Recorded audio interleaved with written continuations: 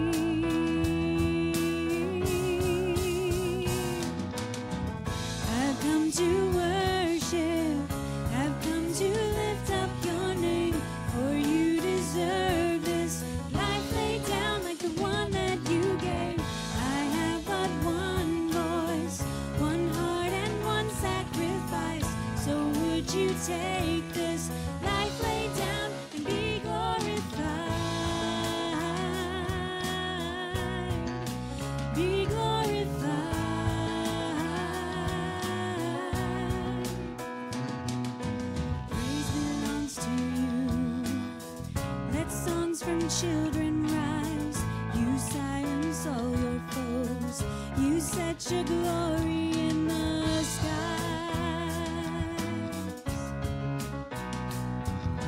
Praise belongs to you. Creation's calling now for the King to.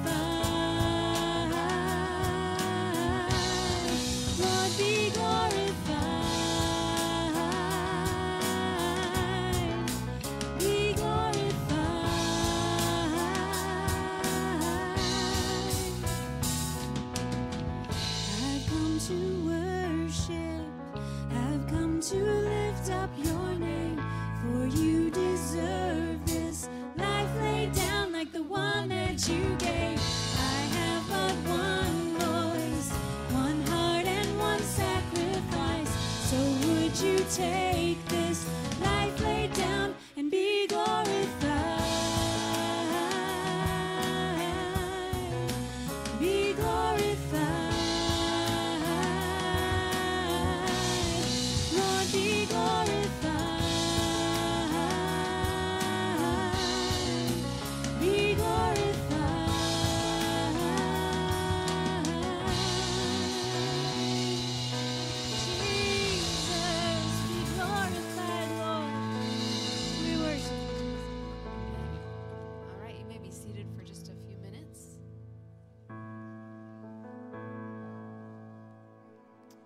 to church.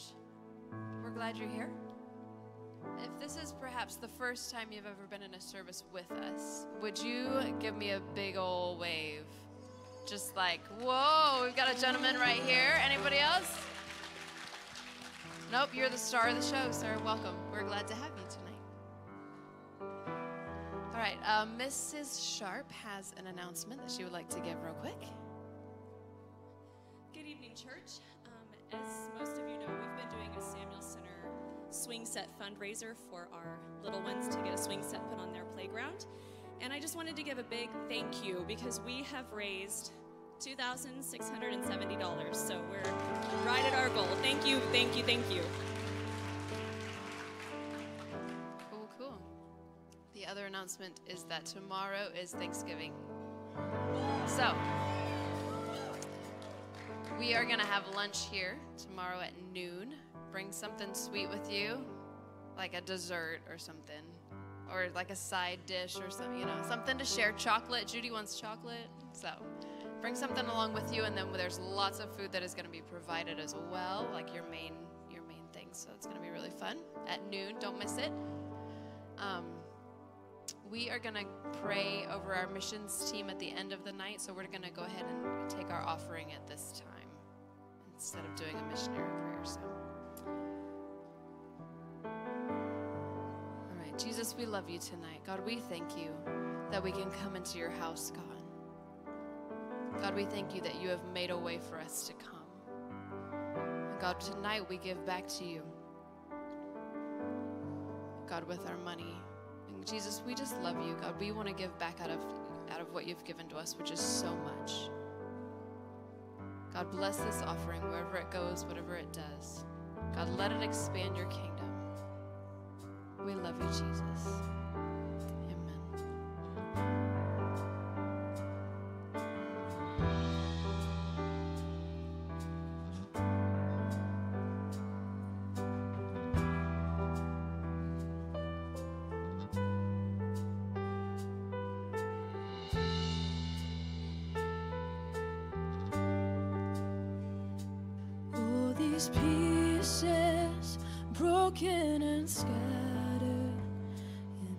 Mercy gathered, mended and whole, empty handed, but not forsaken.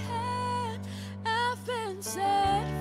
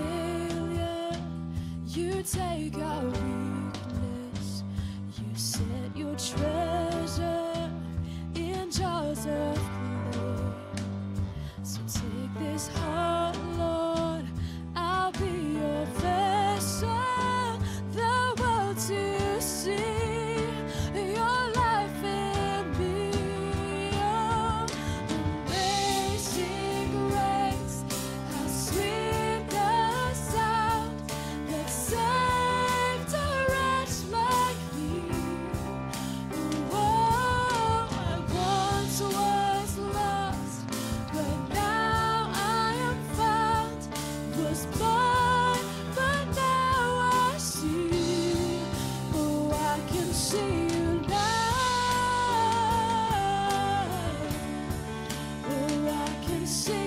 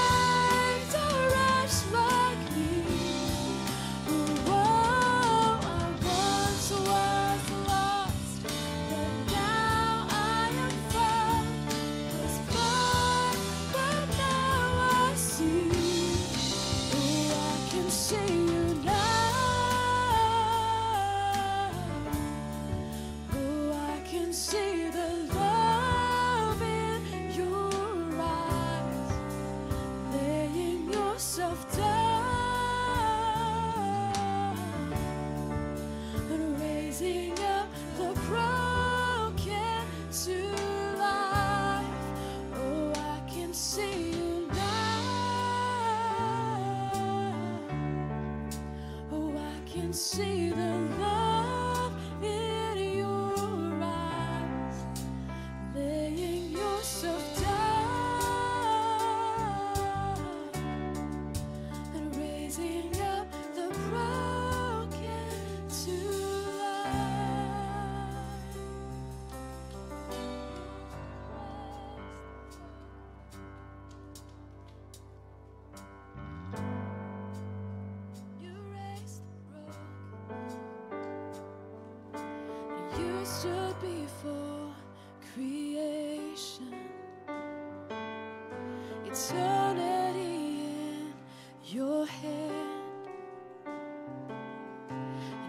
spoke the earth into motion, my soul now to stand.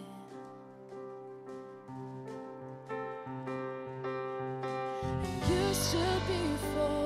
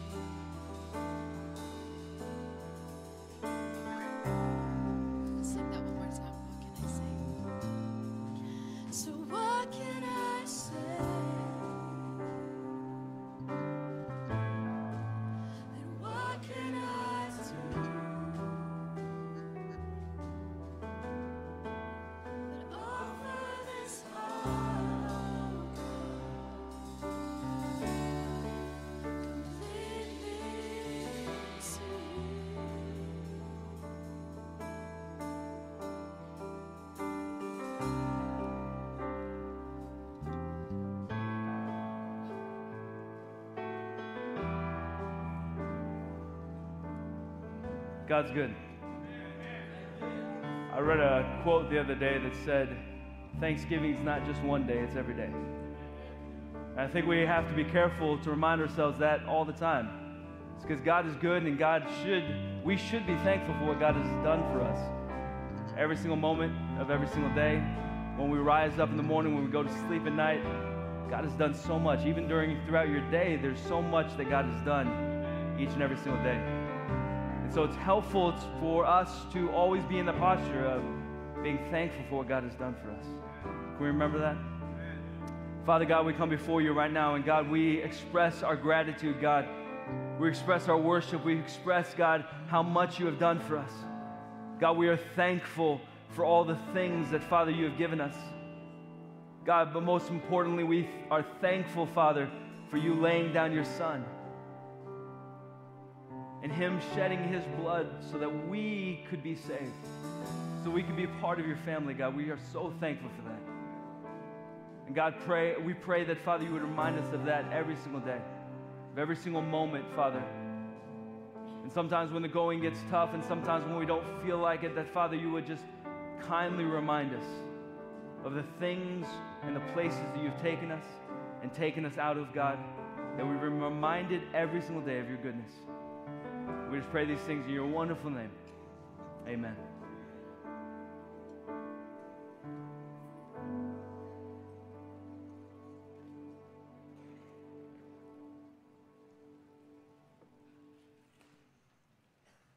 Good evening. I know I'm not Darren or Hannick, if you read your bulletin, but uh, I'm filling in for him. He's eh, having Thanksgiving with his family up in Lincoln. And so I'm grateful for this opportunity that I can be able to share with you uh, this evening. And, and the title of my message is simply this it's God is a God of the valleys. God is a God of the valleys. I love being outdoors. I don't always like the things that are outdoors, but I love being outdoors most of the time. I love the scenery. I love uh, being out in the woods, my favorite state in the whole entire world. And if God would ever ask me to move there, I'd probably do it in a heartbeat. It would be Colorado. I love it. I love the mountains. I love the, the greenery. I love the scenery. And so, something, there's something captivating about the beauty of His majesty in uh, the creation itself. When we think about some of the things in regards to nature, we think about hills, we think about mountains, we think about valleys, we think about streams. There's a whole plethora of things that we can think about in regards to the nature of God. And he writes quite extensively throughout the Old Testament about some of these things, some of these ideas, some of these concepts. And he draws very much from creation itself to help us understand who he is. And one of the things that he draws upon quite often is the idea of mountains and valleys. The idea of there being mountains in our lives as, as men and women of God, as people that are on this journey, there's mountains in our lives. And that mountain, what oftentimes that looks like is those experiences we have in God where we feel like we're connected with Him. Where we're right, He's right there next to us, where everything's going well, and we're on, you know, that's where we coined the term mountaintop experience because we're up on top. We're looking down, and maybe sometimes we're looking back at some of the things that we've been through, and we're, we're, we're extremely grateful that we're up here and not down there anymore, right? And so that's the idea of mountains. And then there's the idea of valleys within the life of a Christian and the life of us as men and women of God. There's this idea of valleys that we have to walk through. And there's a lot of times within the Old Testament, it talks uh, quite eloquently about what valleys represent and what it means to not only our path as Christians, but what it meant to the Israelites in their history and in their time.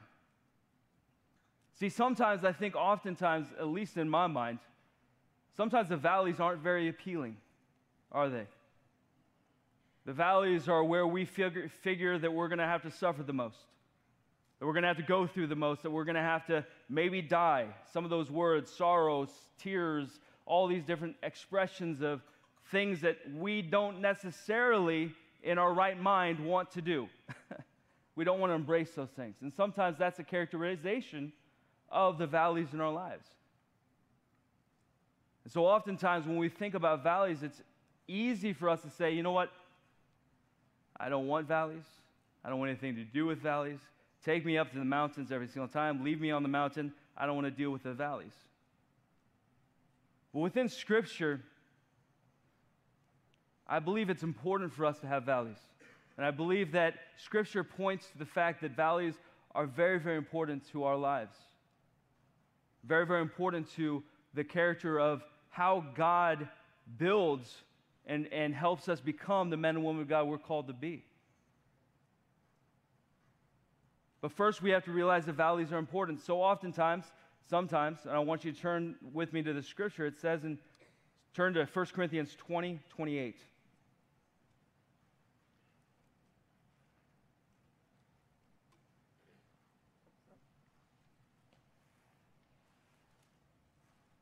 A little bit of a side note. Um, kind of along the, the sense of valleys and things like that. But probably an hour before I got here, my life was a train wreck. I, uh, I was on a rush back from Quincy. I had bought groceries for the boys and things of that nature, so I was, I was on a rush.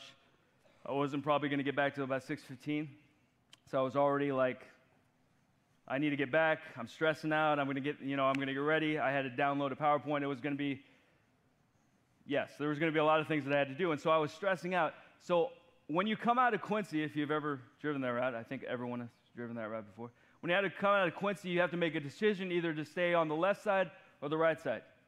And the left side will take you to Canton, the right side will take you to Ewing, right? Or whatever that place is. So I was behind a really slow car coming here, and so I decided to kind of go past that car before we had to make the decision to get on either or. And so I made that decision really quickly and I started passing this vehicle. Well, the guy behind me decided to pass with me.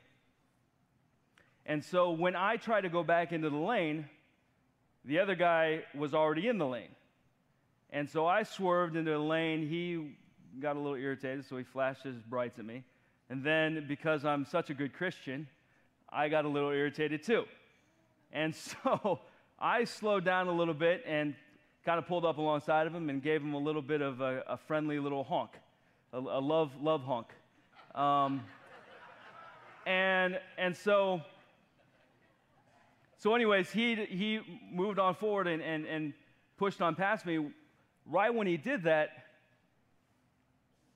I realized that I had just mashed my horn at a cop. And so he took off right in front of me. And I'm, and I'm now like even more stressed out because I'm like, this guy is going to be mad at me. He's about to pull me over. My life is over. I'm going to not be able to preach tonight. It's, it's, it's, a, it's done. And so luckily, I don't know if God was in the mix or I'm just, it was just luck, but he decided to pull over somebody else in front of me. And that's the reason why he was trying to get past me.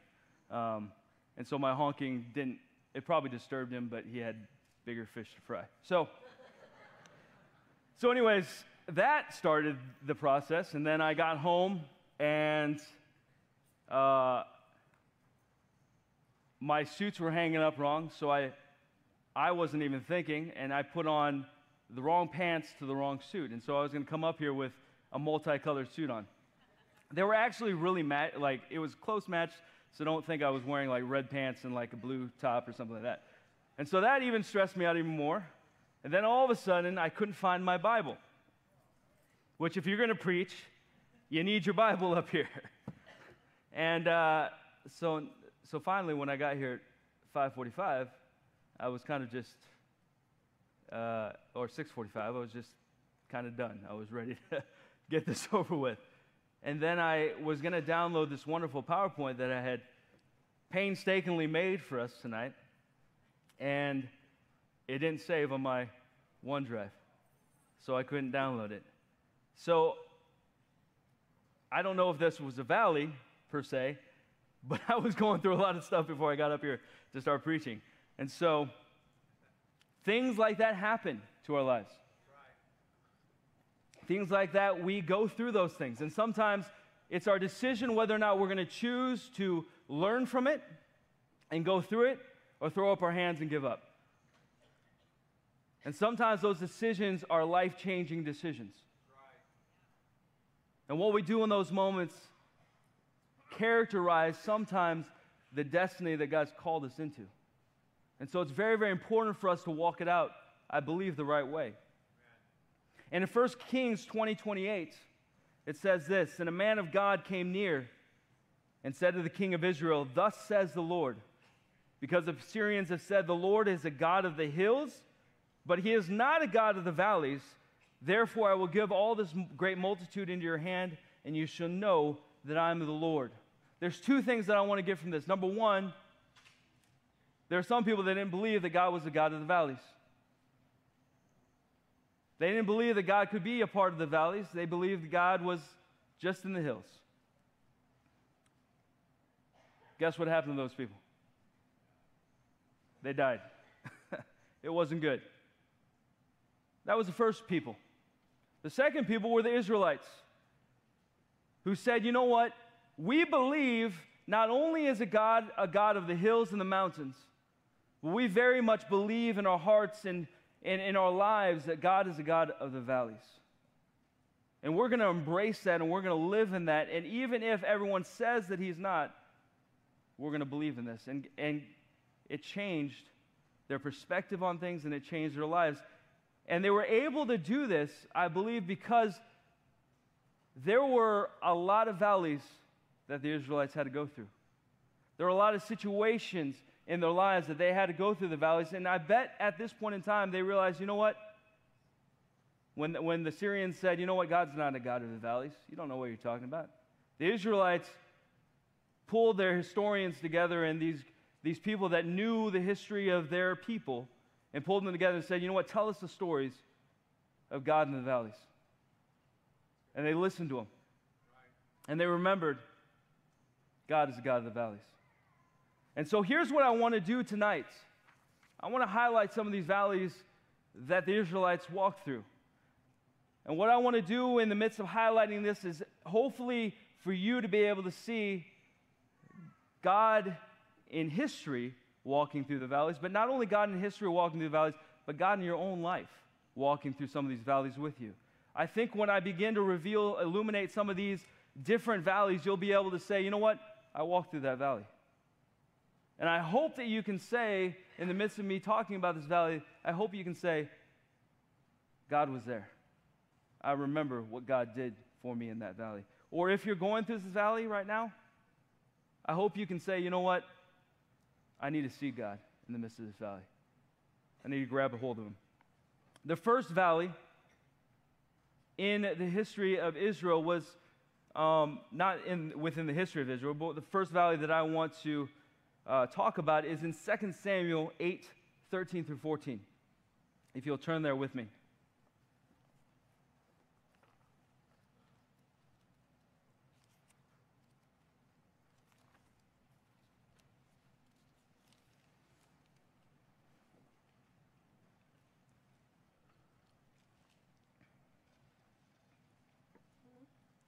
And David made himself a name when he returned from killing 18,000 Syrians in the valley of Salt. He also put garrisons in Edom. Throughout all Edom, he put garrisons, and all Edomites became David's servants. And the Lord preserved David wherever he went. Let me keep it, continue reading a little bit. So David reigned over all Israel, and David administered judgment and justice to all of his people. If you read all of chapter 8, you will see that David, the characterization of David's life during this period of time was one of battle after battle after battle after battle. And even though it talks about his victory over and over again, I hope you understand that battles aren't easy to go through. Battles are tough. And I bet you anything that David had to watch some of his fellow brothers die on the battlefield. I bet you anything that he had to watch his own people die on the battlefield. I bet you anything that he had to take some cuts and bruises in the midst of this. And I believe that some of this, the, the Valley of Salt, the characterization, if you look at the words of the Valley of Salt, Number one, if you look at the word valley in this, in the Hebrew it means gehi, which the meaning of this means a narrow gorge. And if you characterize that with the meaning of salt, which is the Hebrew word mela, M E L A H, mela means this rubbed to pieces, pulverized to disappear as dust. And so when we look at this word, this valley of salt, we can come up with a definition for this valley of being something that is made up of suffering, hardship. And so, what we see in David's life during this period of time is that in, in chapter 7, he was just, the covenant of God was repronounced over his life. In chapter 6, he was dancing in worship and glorifying God. Now we reach chapter 8. This is where all of this comes into the place where he has to fight for it. And the fighting for it, sometimes in this period of time, he had to suffer. He had to go through some hardship. He had to go through some character building in the midst of this. Even though he went through many years of character building, this is another place of character building for his life. And it's interesting to note in chapter 9 that through this character building process, it, it says within the chapter heading, if you have the ESV version, it says in one of the chapter headings, it says, the kindness he shows to Mephibosheth, which is Saul's son. I believe that David, in, because he walked through this valley, because he walked through the valley the right way, he was able to embrace the character of God in the midst of these circumstances in which he was supposed to rule and reign as king. And his first rule as a king was to show kindness on a human being that all other kings and all other rulers probably would show no kindness to.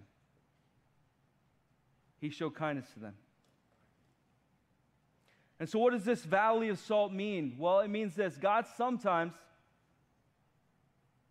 uses suffering to transform us into the children He has called us to be. In that place of transformation, we find our victory. And it's the same place that David sings about in Psalm 60, the psalm he wrote while in this valley. If you turn there with me, Psalm 60.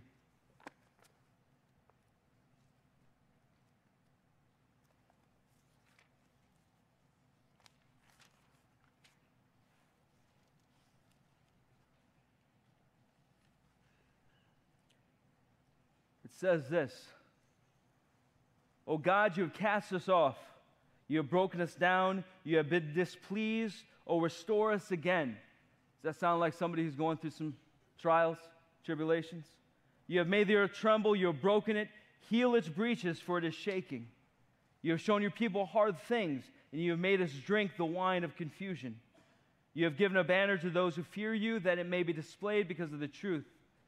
Selah that your beloved may be delivered. Save with your right hand and hear me. God has spoken in his holiness. I will rejoice. I will divide Shechem and res- measure out the, the valley of Succoth. Gilead is mine, Manasseh is mine, Ephraim also is the helmet for my head. Judah is my lawgiver, Moab is my washpot. Over Edom I will cast my shoe. Philistia shout in triumph because of me. Who will bring me to the strong city? Who will lead me to Edom? Is it not you, O God? Who cast us off. And you, O God, who did not go out with our armies. Give us help from trouble, for the help of man is useless. Through God we will do valiantly, for it is he who shall tread down on our enemies. How many of you feel like you're going through a valley of suffering at times? Anybody going through that? Maybe sometimes it feels like everything is it, it's hard. It's a battle. You're going through periods of maybe even sickness, of, of physical ailments, of, you know, you're making decisions in your life in which your friends are saying, you know what, I don't want anything to do with you anymore. Where your family is saying, you know what, I don't want anything to do with you anymore. And you're having to make decisions that are righteous that are causing somewhat of a suffering spirit in your life, a suffering place in your life. Here's what God would say For it is He who, tr- who shall tread down on our enemies. You're not alone. You're not alone in this battle. In the valley of salt, you are not alone. Here's another valley Joshua 7:26. Turn there with me.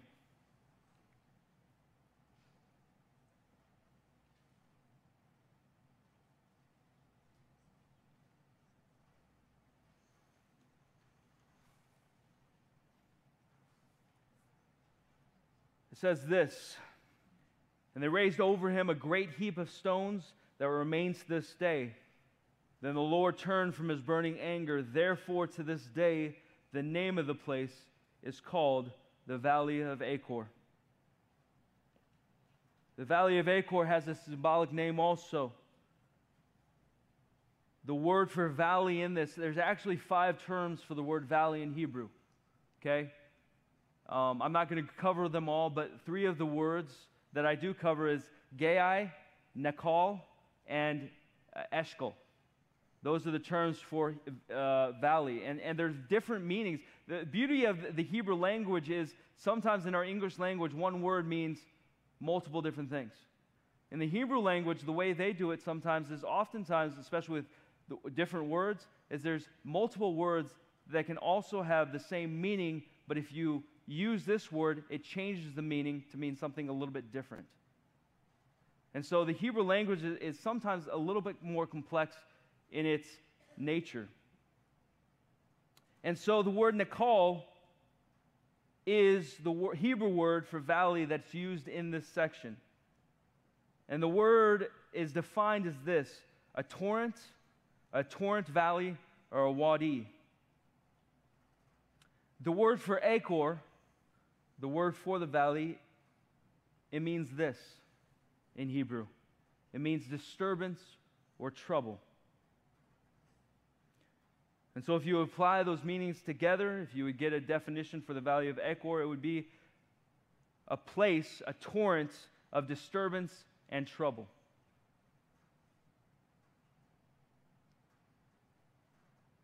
And if you look at the usage in Joshua 7:26, you'll see that there was trouble in this section of scripture. If you read about the story of this Achan, Achan's sin, if you read the story about him in this section, he caused a lot of grief not only for himself but for the whole people of Israel.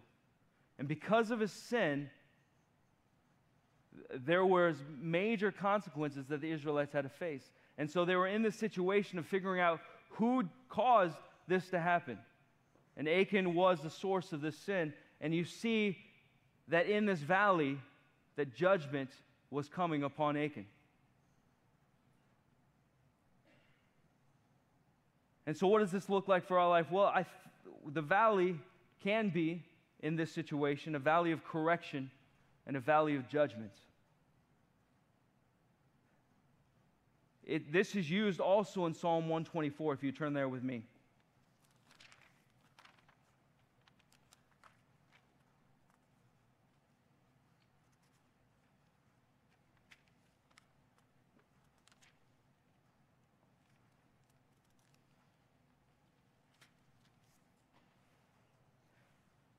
I hope you're getting some of this stuff because sometimes when you preach, you're trying to fit a bunch of pieces together.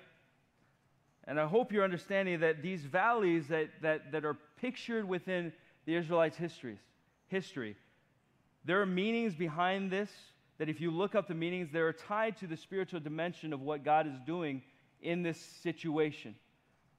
So, so, so oftentimes when God takes people to geographical locations in the Old Testament, it's not just an ordinary geographical location. It oftentimes represents something that is spiritually happening. There's something that's going on. And so when I'm pointing out these valleys, there is a significant spiritual happening that is occurring within these valleys. And so when I point out Joshua 27, 26, what I'm showing, hopefully, is that this valley of disturbance and tribulation is where God says, you know what? Let's stop the trouble. We're going to bring some correction here. We're going to bring some judgment here. We're going to stop this from happening anymore. And so what he does is it says in Psalm 124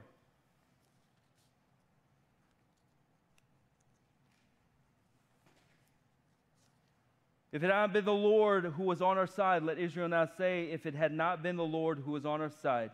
When men rose up against us, then they would have swallowed us alive. When their wrath was kindled against us, then the waters would have overwhelmed us. The stream would have gone over our soul. Then the swollen waters would have gone over our soul.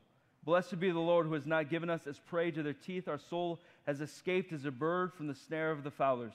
The snare is broken and we have escaped. Our help is in the name of the Lord who made heaven and earth.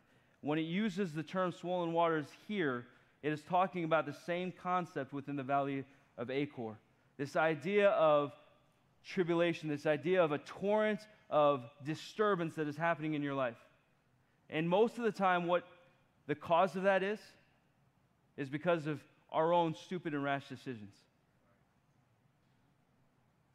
And in order for us to walk out of that, you know what God has to do sometimes is He has to stop us and say, you know what, you need to be corrected. And so, in this valley of disturbance and tribulation that sometimes you're going through and sometimes you're walking through, maybe because of your own decision making. There's probably, in order for you to walk out of a place of repentance and a place where God's going to have to come down and judge. But the beauty of it is that if you walk it out the right way, the beauty of water is that it can also cleanse, it can also purify, it can also wash clean. Not only does the torrent sometimes strip us bare, but it also makes us the way we're supposed to be in God's eyes. In Psalm 84 6, if you turn there, this is the third valley.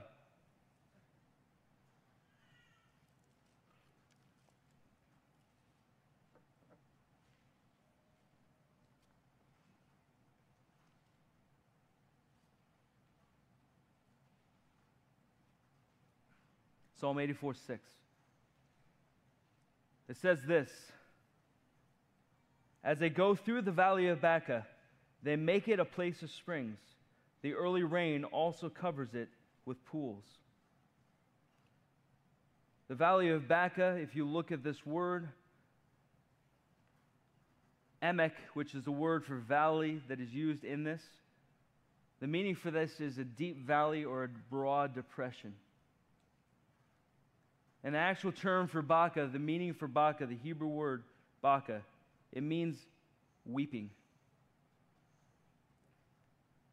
And so when you look at the valley of Baca, this is a valley of weeping, a valley of tears, a valley of deep sorrow.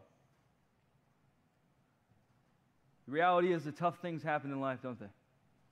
There's sometimes where we are caught in mourning, where tears will flow, where we won't always be joyful. And there's mul- multiple different reasons that this could be the case. But there is a place that sometimes we need to shed a few tears. And it's okay to be in this, this valley of weeping, this valley of sorrow.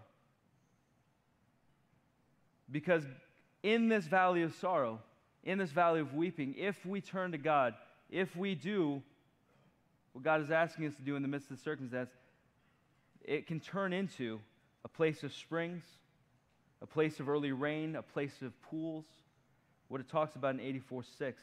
And the rest of 84, it, it, it talks a lot about God coming in the midst of the circumstances and glorifying God in the midst of those circumstances. And so the valley of mourning can be very easily turned to a valley of joy based on the decisions that we make.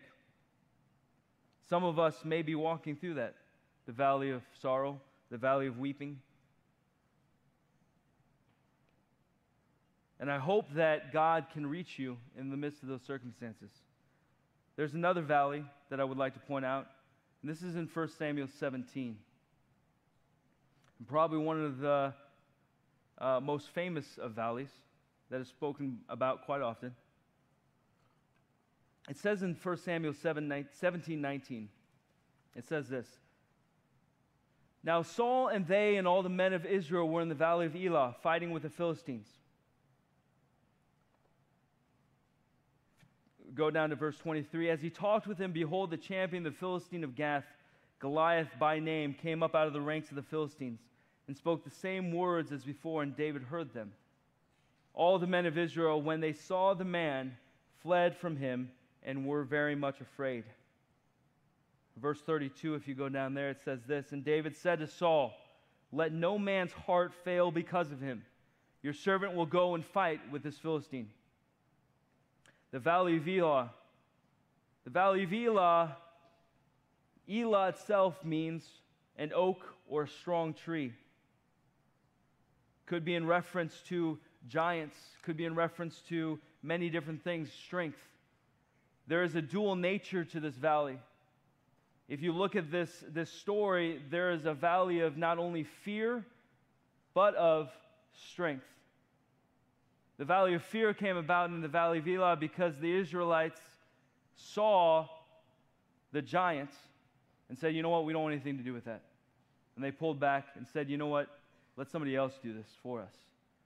Instead of turning to God, instead of realizing God was in control, you know what, they said, we don't want anything to do with it. And so it can become a valley of fear for us. The flip side of this is what David did in the midst of this situation is that he didn't walk in the valley of fear. He said, you know what, I'm going to make this a valley of strength for myself. The valley of Elah, a strong oak. And he said, you know what, we shouldn't fear. We have God on our side. Let no man's heart fail because of him. Your servant will go on and fight with this Philistine.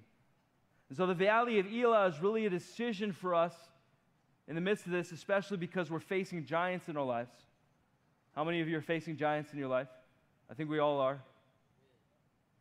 You have a decision to either walk in fear, you have a decision to walk in strength. You have a decision to walk in your own strength, or you have a decision to walk in God's strength. And you get to make the determination of what valley you would like to walk in in the valley of Elah. There's another valley in 1 Kings 19, 4 through 8.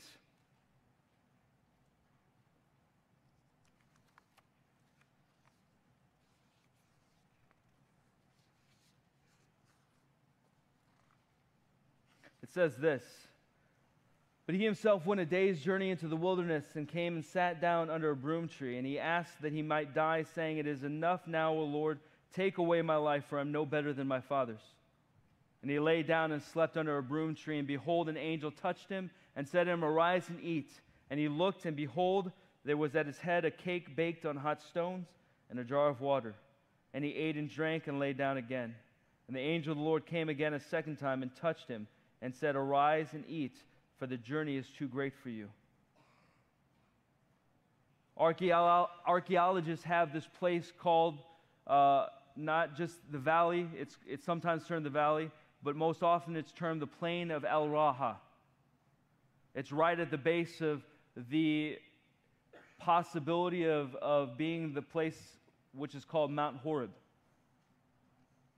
And here is Elijah a prophet of God coming from probably the biggest victory of his whole entire life. A huge victory. I mean, he, he, he, he basically stood in faith against a, a bunch of Baal worshippers and said, you know what? We're going to stand for God instead of all these Baal, instead of for Baal. And he made a decision, you know what, to believe in God, to walk in that faith, to walk in that, that promise. And God showed up and showed up in fire. And he claimed a great victory in that moment. But right after this moment, it says that he went into the wilderness and began to have a pity party for himself. Began to feel despair in the midst of the circumstance. And sometimes there's valleys of despair in our life. This, this plain of El Raha could very much be a plain of despair for you, where God has done great things in your life, where, where you feel like, you know what, I've walked out of victory, but all of a sudden it feels like everything, the, the floor's kind of, or the carpet's kind of been pulled out from underneath me. Everything seems to be going wrong, where I don't feel like I'm questioning my identity now, I'm questioning who I am. Nothing is going right in my mind. It feels like I'm in despair. And sometimes, oftentimes, when I hear of great victories that happen in the kingdom, especially in people's lives where God has done something great, you know what? Satan wants to take that away from you. He doesn't like you to live in victory. And oftentimes, after a great victory, there comes a place in which there's a great challenge. And sometimes, when that great challenge shows up, it's very easy to walk in this valley of despair.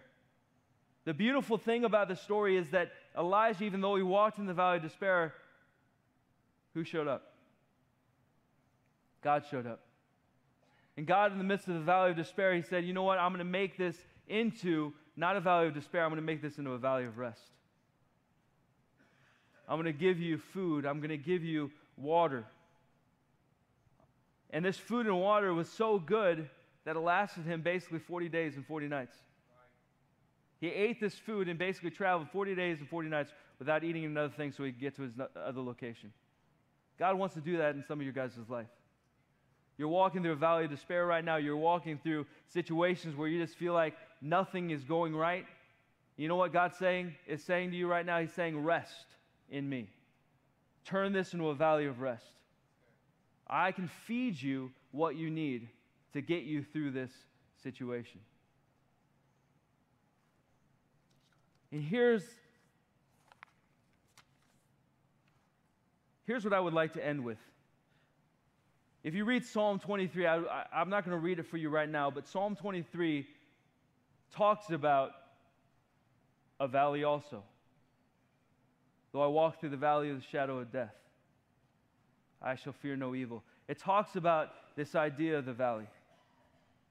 And within this characterization in Psalm 23, it also talks about how David, King David, walked out of this.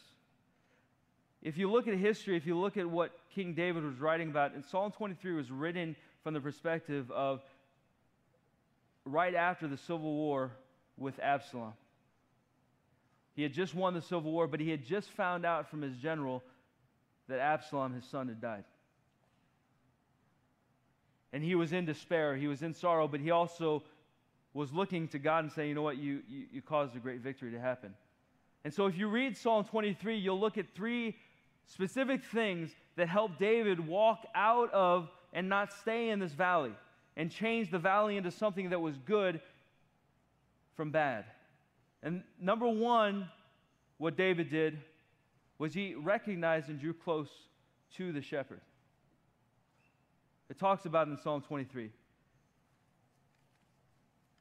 Let me turn there real quick.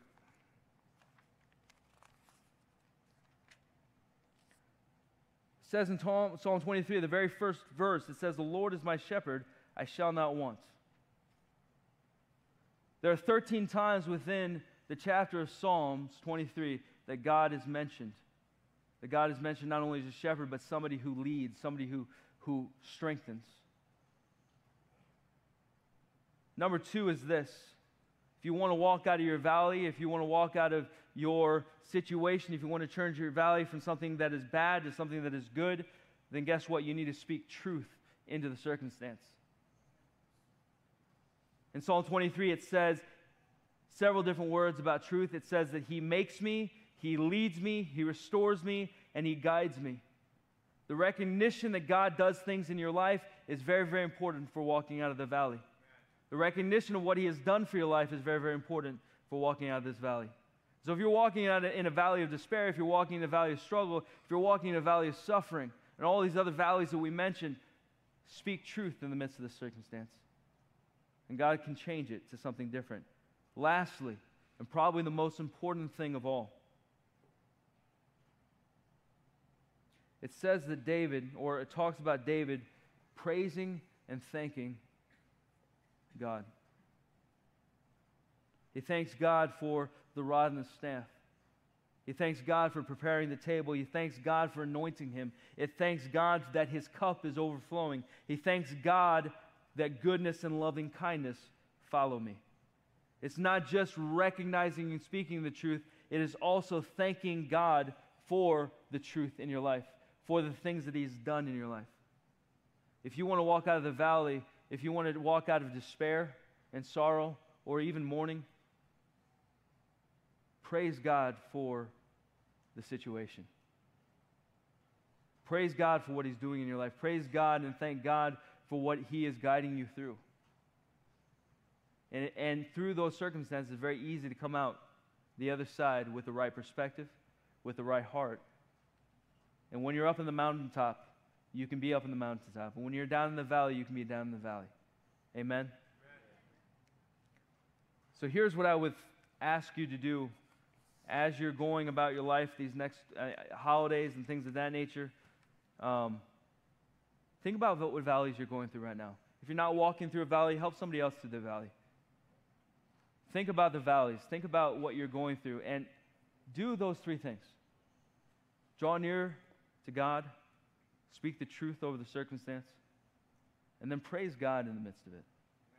If you can do those three things, then no matter what the valley looks like, then you're, going to you're going to be able to get through it. Amen? Before we end tonight, we're going to have, uh, we're going to pray for the people that are going to Brazil. I'll turn it over to Pastor Palmer.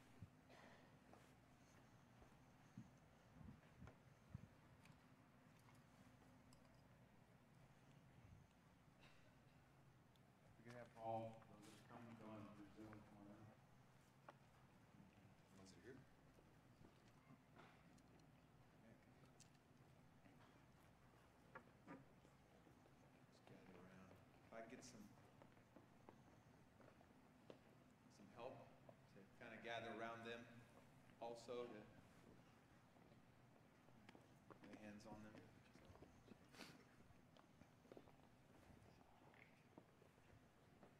It's a good, good crew.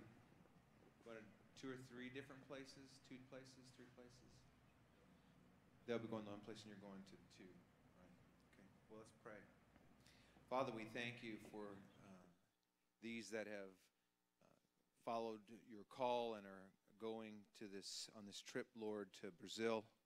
Lord, we pray that your hand would be upon them, that you would anoint them uh, with your strength, Lord, anoint them with your power, anoint them with insight, Lord, as they go to uh, to the Fortaleza there in the in the in the favela and and all that's in the work there with Mark and Ruth, Lord, we just pray, God, that you'd help them to be able to touch these children to be able to speak life, Lord, in the midst of a place where there's much destruction and death. And Lord, we pray, God, that you'd give them the ability to uh, do great work. Lord, I know there's that things going on. Lord, we pray for this other church that David's going to where there's, they're having their anniversary celebration. Lord, I pray that you give him the words to speak. And Lord, that there would be great blessing that would happen in that place. But God, we just pray for your covering. And Lord, we just commit to stand behind them, Lord, and to cover them in prayer, Lord. We're looking for great things to, a great story, a great uh, uh, uh, t- uh, story to come back to us, Lord, of all the wonderful things you're going to do. And Lord, we just pray, God, your blessing upon them and upon the people, more importantly, even upon the people that they're going to. We pray these things in Jesus' name. Amen. See you tomorrow for those of you who be here for lunch.